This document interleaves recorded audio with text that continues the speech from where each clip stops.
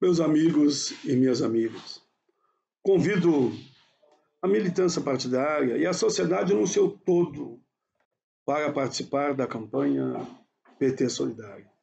Esse movimento busca arrecadar alimentos em todo o Brasil para o nosso tão sofrido povo que passa fome. Ou morre do Covid ou morre de fome.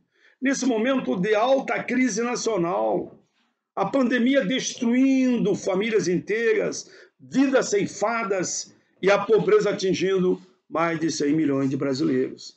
É fundamental sermos solidários. Pela primeira vez em 17 anos, metade da população brasileira não sabe o que vai comer no dia de amanhã. O país está voltando ao mapa da fome. Isto é muito triste. Vamos nos mobilizar de norte a sul, na cidade e nos campos, nos bairros, nas favelas, nas parafitas, em todos os lugares. Todos têm direito à alimentação. Os grandes centros, os poderosos que abram mão, doem cestas básicas. Com solidariedade, compaixão e amor, vamos vencer essa guerra, todos juntos. Participe da campanha PT Solidário, doe alimentos. Um abraço. De quatro costado, o senador Paulo Paim, embora à distância.